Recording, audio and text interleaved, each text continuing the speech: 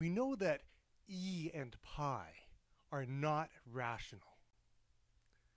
Neither number can be written as the ratio of two integers.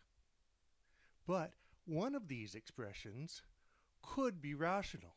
We just don't know.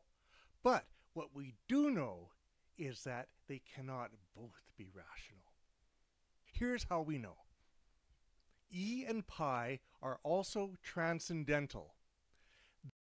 That means that neither one of them can ever be the root of an algebraic equation with rational coefficients like this quadratic. Now, we can easily create a quadratic with e and pi as roots. Here's one right here. But that means that at least one of these three coefficients cannot be rational.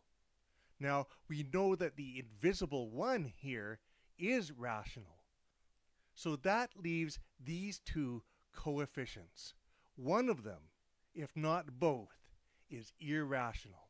Sometimes a mathematical proof only gives us a hint. If you like proofs, here's another one. Thanks for watching. Cheers.